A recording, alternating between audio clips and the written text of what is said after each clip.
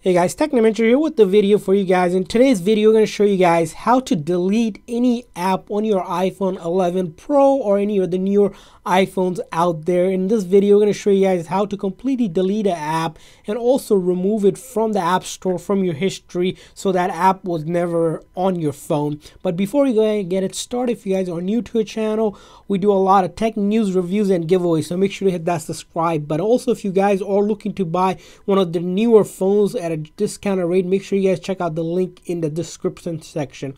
So here, as you can see, I have downloaded a bunch of the app already, and I want to delete an app. So to simply delete an app, for example, if we want to go ahead and delete Spotify here, right? We want to delete app, pick any app that you want to delete. What you're going to do is simply hold down, press until you see this menu pop up. So again, you're going to press and hold until you see that menu. And then once you see that menu, you're going to see that remove app. All you have to do is simply click that. And once you click that, you'll get another notification saying you will be removing this from your home screen. And do you want to delete the app? So you want to click delete app and once you do that, it'll finally ask you one more time, do you want to delete this app and its data? So everything that you had on this app will be gone from this iPhone. Of course, if you have an account on a specific app, that's going to be still there once you log back in if you re-download it. So you don't have to worry about that piece.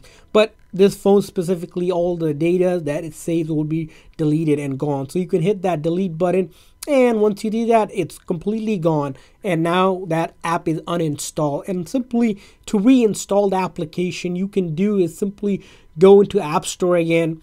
Of course search for that app that you're looking for. But what if you really wanted to completely remove the trace of the app that was ever downloaded or through your account? To do that, you're going to want to go to your account here and the accounts, you're going to want to click on purchase. So purchase is not necessarily that you bought the application, it's just the history on your account to show all the apps you have downloaded previously. So if I wanted to remove the history of Spotify ever being downloaded through my app, I would search it up here or find it in this list and simply slide it over and then hide it.